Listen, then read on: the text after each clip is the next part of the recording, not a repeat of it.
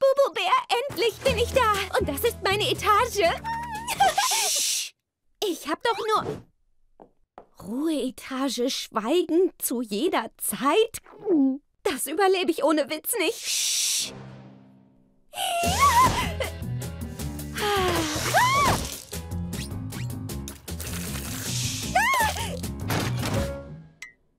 Komm schon, geh ran, geh ran. Lenny, du glaubst nicht... Halt, wieso bist du noch nicht angezogen? Hat die Schule nicht schon vor Stunden begonnen? Naja, schon, aber ich konnte nicht gehen. Du hast nie gesagt, was ich anziehen soll. Wie wär's mit diesem Seidenkleid? OMG, ist das Kleid so schlimm? Nein, aber ich wohne in der Ruheetage und alle hier hassen mich. Ich gebe mir ja Mühe, okay? Ein bisschen Ruhe und Frieden, wohlverdient und heiß ersehnt. Check! Ich muss dir von dem Traum erzählen, den ich heute Nacht hatte. Ich würde ihn gern hören, doch wie du siehst, Ich hing also in diesem Sarg. Und ganz plötzlich. Ruhe und Frieden? Check. Erneut. Esi, wo bist du? Da bist du ja. Oh, hey, Lincoln. Das ist meine neue Eidechse Izzy. Willst du sie streicheln? Ruhe und Frieden. Check. Erneut. Gutes Stage-Diving, Bro. Jetzt aber. Ruhe und Frieden. Check. Erneut. Oh, hey Lincoln. Was hat vier Räder und Fliegen? Die Müllabfuhr. Tja, Mülllabern ist leicht, aber das ist doch Schrott. da habe ich was ins Rollen gebracht. Ehrlich, ist es denn zu viel verlangt, einen Jungen in Unterhose in Ruhe und Frieden sein Comic lesen zu lassen? Tja, leider ist es bei zehn Schwestern wohl so gut wie unmöglich, etwas Ruhe zu finden. Es ist Ihnen so gut wie unmöglich, etwas Ruhe zu finden. Ja. Moment. Ja! Dann brauchen Sie die Lärmhinfort 2000 Ohrstöpsel mit zwölf herrlich beruhigenden Klängen. Blenden Sie die lärmende Welt aus und genießen Sie etwas Zeit für sich. Rufen Sie jetzt an. Gekauft!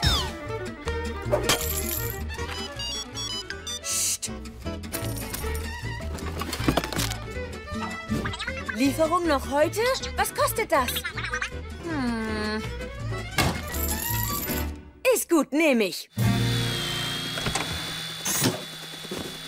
Ah, Lärm hinfort 2000. Hier ist das Geld.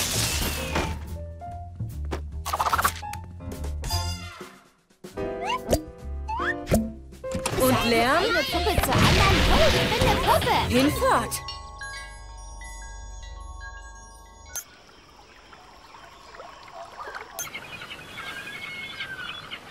Wiedersehen, ihr nervigen, lauten Schwestern. Hallo, Zeit für mich.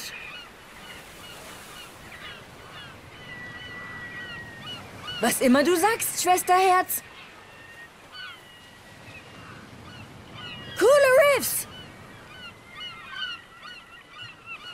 So ist es, Lana. Lärm hinfort? Ihr seid der Wahnsinn! Warum denn nur für Comics? Lasst die ruhige Zeit beginnen! Witzig, echt witzig. Aber sicher doch, Linnylein. Aha. Verstehe. Aber sowas von.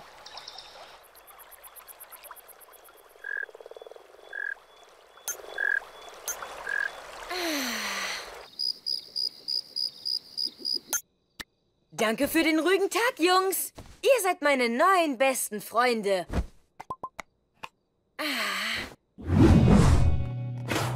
Die Bibliothek? Wozu nur? Ja, wozu? Zeit für meine Knopfkamera.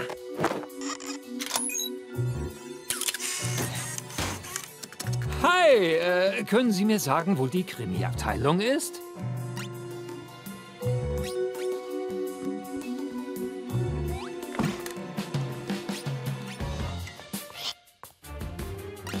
Interessieren Sie sich für Krimis? Ja, ja, ich interessiere mich sehr für Krimis. Verdächtig.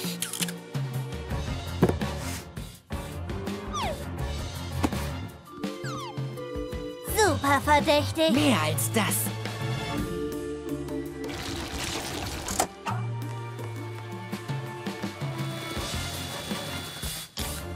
Ah, sie kauft sich einen Flippy Pfirsich. Wollen Sie nicht doch lieber Kirsche? Ich hasse Kirschen. Sehr merkwürdig. Wer hasst denn schon Kirschen?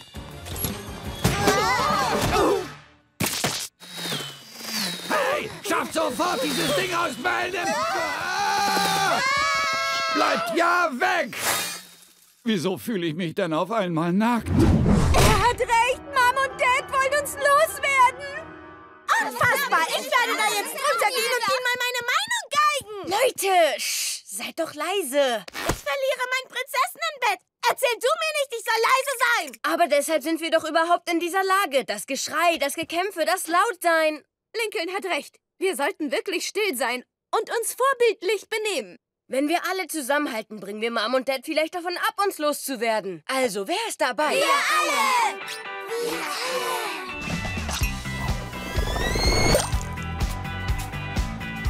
Sorry, Süße. Ich steig auf Akustik um. Tut mir leid, Mr. Coconut. Ohne mich bist du nur eine Hand. Hey, ich bring dir die Witze. Du bist nur...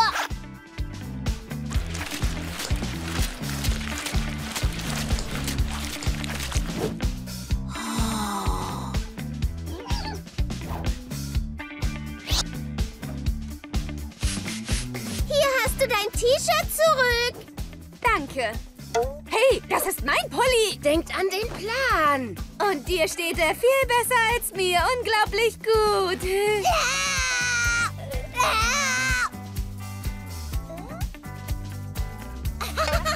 Oh mein Gott, Luann, geht es dir gut? Hilfe, Leute! Luann steckt hier fest! Ladies first! Süße! Zu freundlich, liebe Lola, aber ich muss darauf bestehen, dass du zuerst gehst. Davon will ich nichts hören! Und ich würde es mir niemals verzeihen, wenn ich vor dir ginge, Prinzessin! Also bitte! Alter vor Schönheit! Du bist zwei Minuten älter als ich! Oh, lieber Bruder, geh du doch zuerst! Danke! Liebes, bitte, überleg es dir noch mal. Leute, Mom und Dad streiten schon wieder.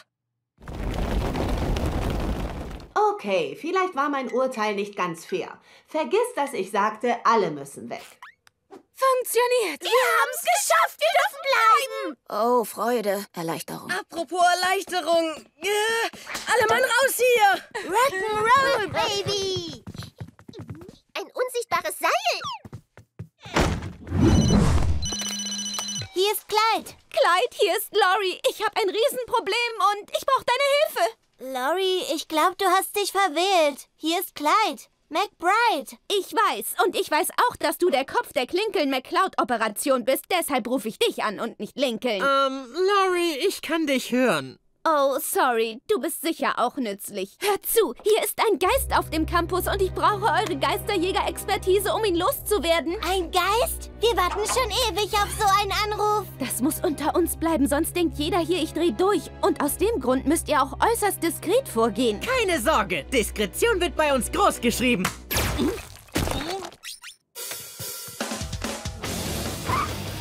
Ha!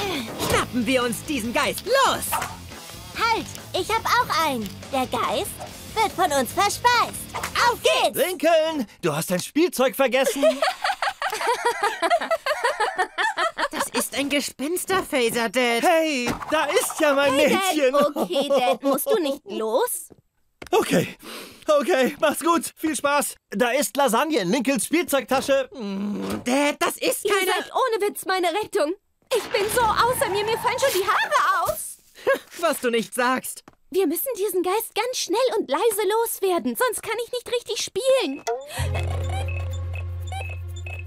Sauber, keine spektralen Aktivitäten. Ein neuer Candy.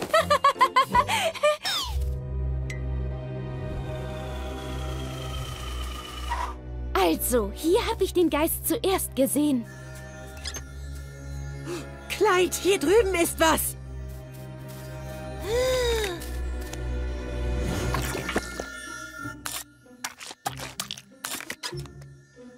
Ah, das ist noch ekliger, als ich dachte. Echt stark. Was ist das? Ektoplasmische Rückstände.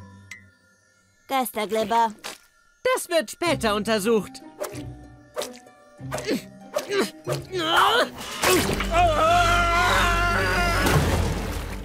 Schnell weg hier.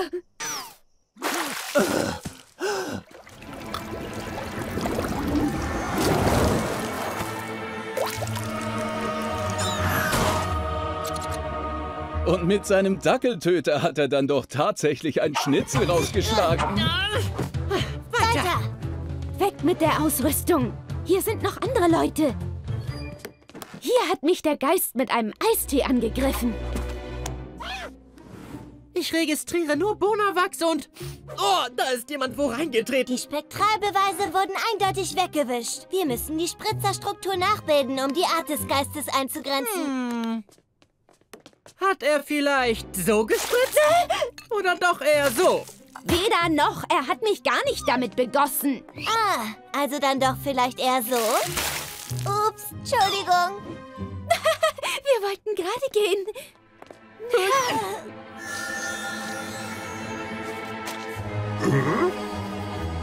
Jungs, denkt dran, das ist eine Bibliothek, also seid ganz besonders leise. Verstanden.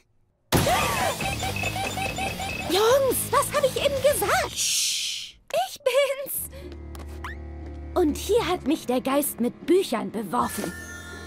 Ja, ganz genau so. Ich rette dich, Larry. Nicht auf mich schießen, schieß auf den Geist. Ah! Da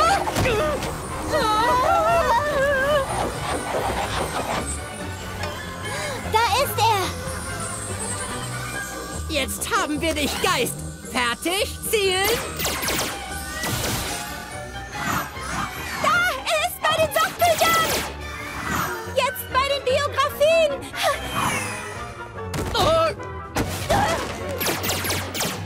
Er will zu den Liebesromanen. Nein, halt. Er kommt zurück. Das war echt der Hammer. Oh, schnell, er entkommt. Ihm nach, los.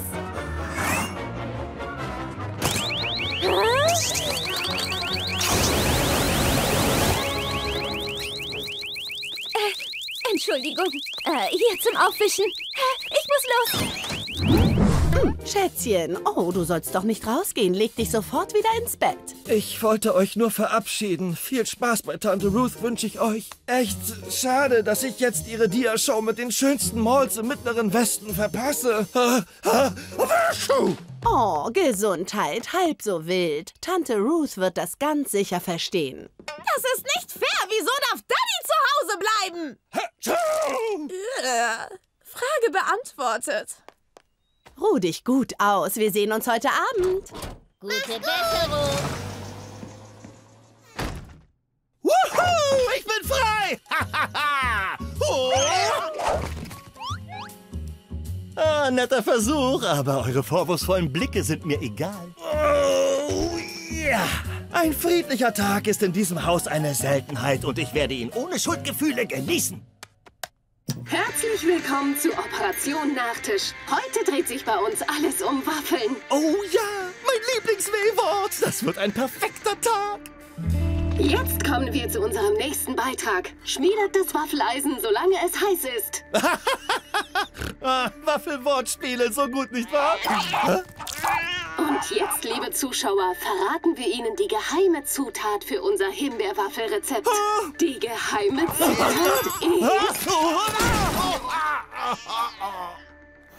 Oh, ich habe die Himbeerwaffel-Geheimzutat verpasst. Ah, sind wahrscheinlich sowieso nur Himbeeren. Tut mir leid, nicht an meinem perfekten Tag.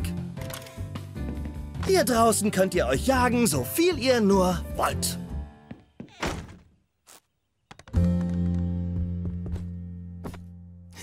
Ah,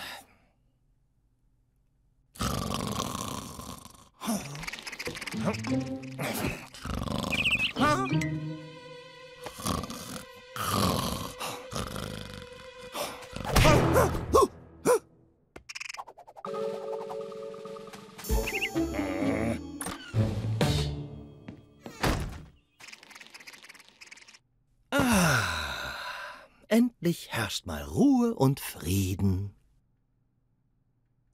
Hä? Hä? Ist, ist das eine Grille? Nicht heute. Hm.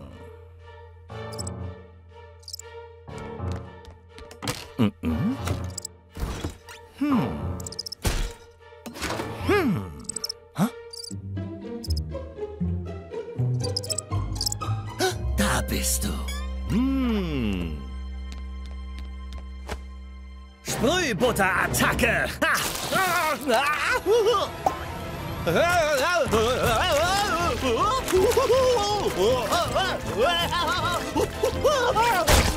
Au, direkt auf das Steißbein. Hm? Oh, dir zeige ich's.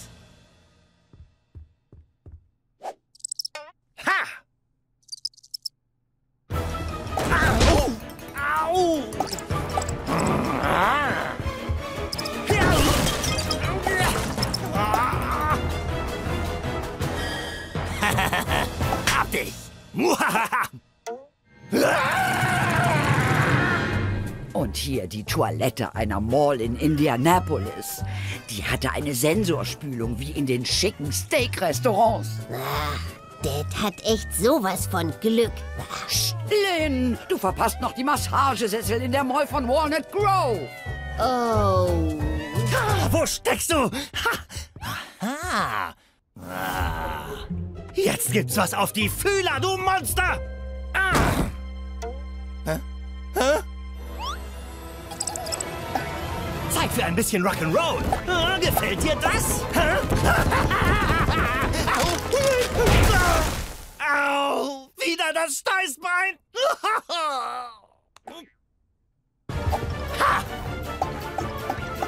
Jetzt ist Schluss.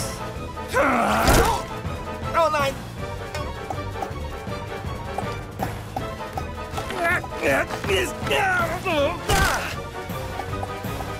Au,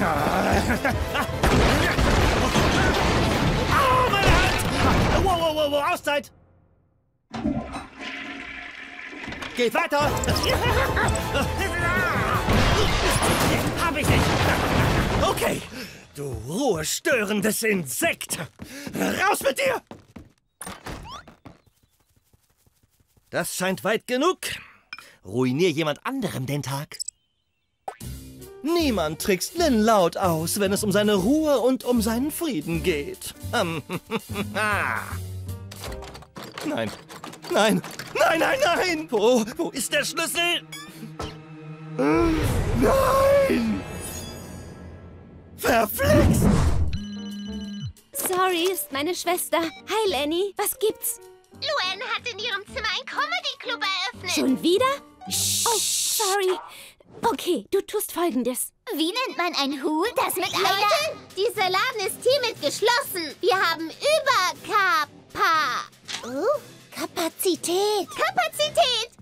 Ist ja wohl legitim, wenn die Feuerwehr hier ist. Gut. Wo ist Ihr Scooter? Das ist mein Upgrade. Du hast mir echt geholfen. Bin ich jetzt fertig? Hey Lenny, dürfen Clyde und ich die Ausweidung gucken? Ist das nicht der allergruseligste Film aller Zeiten? Was? Das ist eine Komödie. Also Lenny, dürfen wir? Lenny? Das nehme ich mal als Ja. Ja. Nach diesem missglückten Abschlag wurde eine Wiederholung gefordert und so entstand dann der Mulligan. Was soll das denn? Sorry. Lenny, ich bin gerade in einer Vorlesung. Lori, bitte. Du schaffst das. Hä? Gut. Aber wenn hier jemand namens Bubu-Bär anruft, dann brauche ich es wieder. Ich weiß nicht, wie oft ich und deine Mutter es noch sagen müssen, aber wenn du mit dem Auto fährst, Laurie, musst du dich voll und ganz konzentrieren. Das heißt, der Rest von euch muss still sein und sich benehmen. Wenn wir noch einen Kratzer finden, dann dürft ihr Vensilla nicht mehr benutzen, um zu euren Terminen zu kommen. Versprochen. Wow, den hast du ja ganz schön eingeschenkt, Schatz. Danke. Also, was die Erziehung der Kinder angeht, haben wir den Bogen wirklich raus. Wir sind Experten.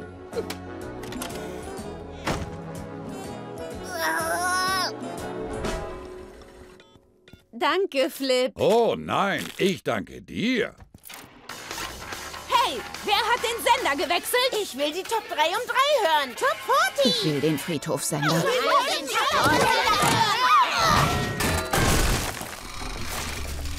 Ah, ich sehe nur noch schwarz. Au, hilft mir doch jemand. Zwölf Verstauchungen, zwei kleine Brüche und eine Verrenkung. Doktor, ich habe keine Zeit für Fachsprache. Ich sitze auf einem Fass mit alten Flippies, die verkauft werden wollen. Sie brauchen mindestens eine Woche Bettruhe. Kann sich jemand um Sie kümmern? Nein, Flip ist ein einsamer Wolf. Au, äh, äh, Salami-Pizza.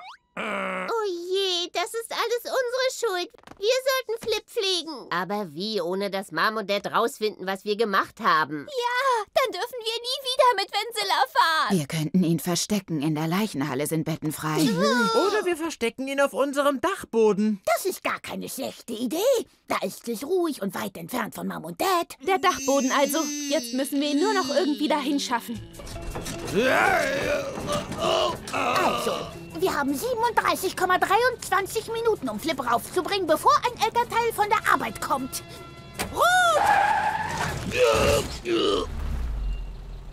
Dad, alle runter, los! Hey, ich lenke ihn ab. Hey, ich hätte da einen Wunschsong. Anschnallen und Ohren auf, denn jetzt kommt ein ganz spezieller Wunschsong. Die neue 27-Minuten-Single von Kuhglocken Sebastian. Oh ja, das ist mein Lieblingssong. Bam, bam, bam. Hat ein bisschen geruckelt, Flip. Keine Sorge, Flip ist so hart wie Sandpapier. 14,4 Minuten, es ist fast geschafft. Hey! Oh, meine Schuld. Oh, Mom, hab ich dir schon von Carols neuer Frisur erzählt? Oh, äh, nein, ich glaube noch nicht. Sie hat jetzt einen Pony. Ist das nicht mutig von ihr? Ich meine, ich hätte da eine absolut einsatzfähige Tür gesehen. Nein, so ist es wirklich viel einfacher. Okay, aber das Auf und Ab geht mir auf die Innereien. Nein, warte! Du hast die Pics noch gar nicht gesehen. Schnell, schnell, schnell! Passt auf die Tür auf! Hier ist Carol mit einem Stirnband. Total süß. Oh, da sind noch mehr. Und so sieht der Pony zur Seite gekämmt aus. Auch süß, oder? Tut mir leid, Lilly braucht eine neue Windel, Schatz. Oh, ähm, ich mach das, kein Problem. Ach doch nicht, mach du es.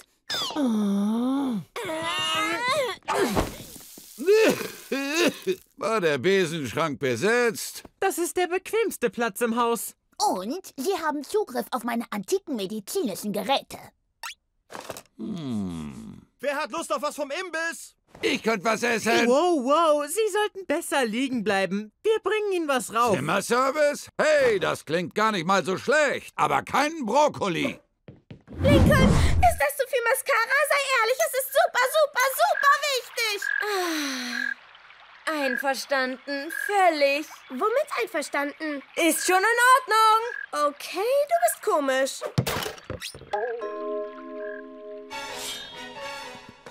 Also, Lincoln, bist du der größte Blödmann auf der Welt? Das kannst du laut sagen. Und würdest du gern mal einen Hundehaufen kosten? Aber klar doch. Er hat uns ausgeblendet den ganzen Tag? Kein Wunder, dass er mir nicht beim Gitarrestimmen geholfen hat. Und nicht bei meiner Seance war. Und darum hat er auch nicht über meine Witze gelacht. Ja, darum wohl. Ich reiß ihm seine Ohrstöpsel raus und dann werde ich... Oh nein, ich habe eine bessere Idee. Also habt ihr alles, was ihr mich heute habt machen lassen, vorher abgesprochen? Ja. Ich glaube ja nicht, dass ihr mich so angeschmiert habt. Du hast es nicht anders verdient, kleiner Bruder. Du kannst uns nicht ignorieren. Wir sind deine Familie. Und denk immer dran, du bist nicht der Einzige, der in so einem lauten Haus leben muss. Wir alle tun das. Das stimmt. Lincoln, du solltest mir doch bei meinem Laborexperiment helfen. Schon gut, Lisa. Du kannst damit aufhören. Ich weiß doch jetzt alles über euren kleinen Scherz. Was für ein Scherz? Die hier werde ich brauchen. Jetzt höre ich gar nichts mehr.